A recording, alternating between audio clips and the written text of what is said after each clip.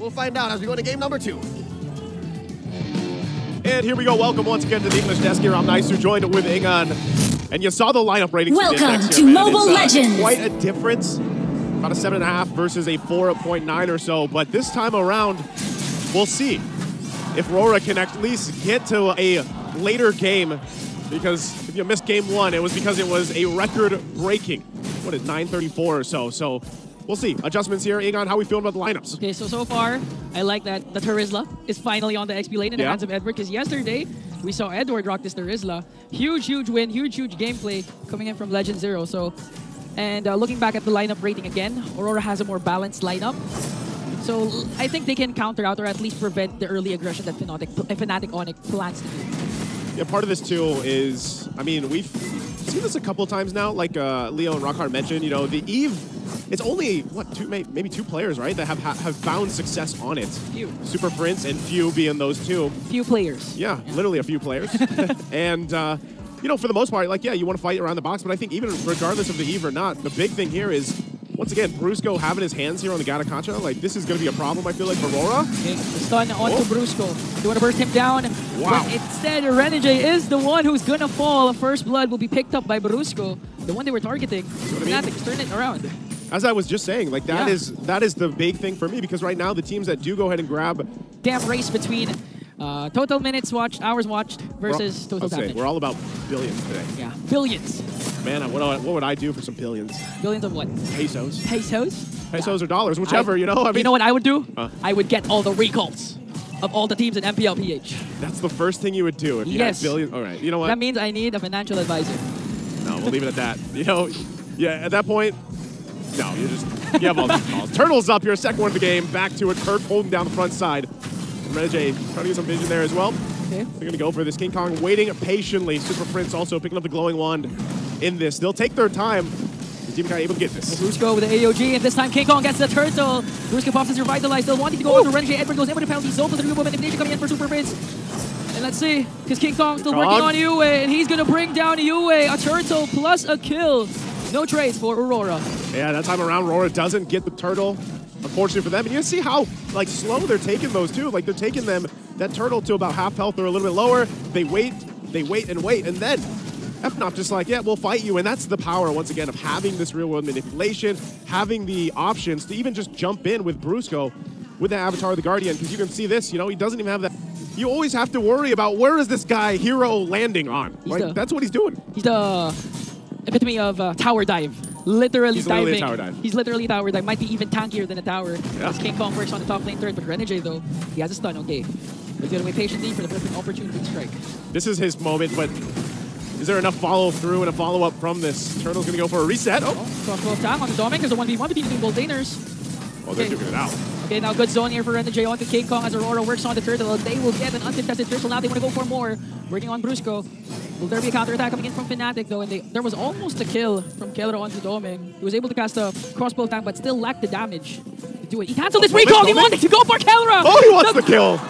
the, the next standard might fall in the hands though of Super Frince and Kirk. There's the counter attack and the recall from Kirk. Kirk. Oh man, you gotta love that. You gotta love their recall here. Renegade, does he want to fight this? Okay, they're able to avoid the curse of blood. Brusko, King Kong, Super Frince is here. New manipulation again from, from Super Frince. Bounty zone, but Kurt's gonna fall down. They want to go for more. King Kong has to escape. They're, they're up against four.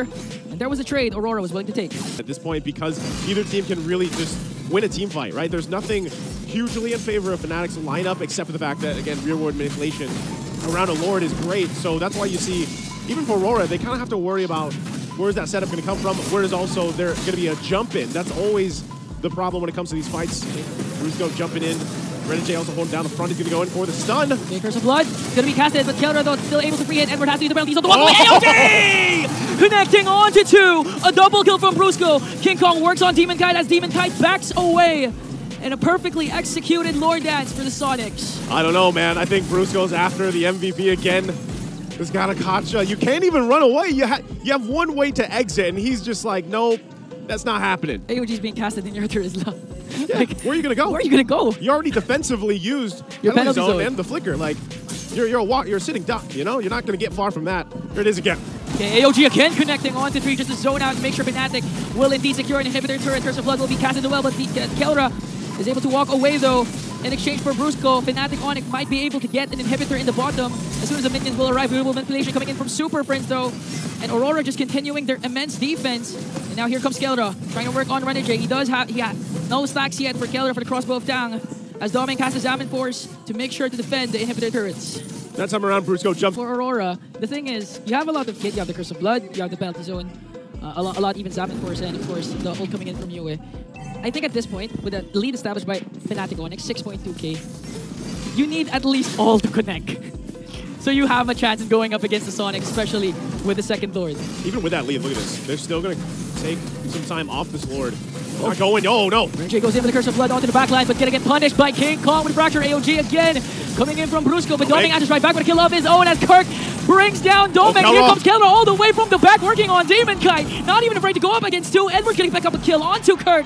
And a 1v1 between Kelra and That's And that's it. King Kong works on the base, but Demon Kite and Edward is here. They have minions onto the min- uh, bottom lane. It's gonna be enhanced. Kelra just continuing to work on Edward. Here comes the crossbow attack. Eventually he's going to bring down Legend Zero. Legend Zero stays alive. And the defense from Aurora will succeed. Oh, I thought that was going to be it, man, but unfortunately not enough, and King Kong was marching in with those minions. But Rora will live to fight another day. That body of Smith passive really came in clutch there for Redwood. Not going down, but right now the Lord is up. FNOP will go ahead and get in position for this. Rora, it looks like they still want to fight, possibly, to try to steal this away or do something. But again, they're just throwing their bodies towards FNOP, really wanting to fight. Oh. Waiting for a better result. Okay, AOG coming in from Brusko all the way to the back. Oh! And Demon Kai gets the Lord, but they're going to bring down Dominic Renegade and Demon Kai. Fnatic ONIC doesn't Oh, care about the Lord. They want to go for the kill. Goodbye, Yue. Goodbye, game two.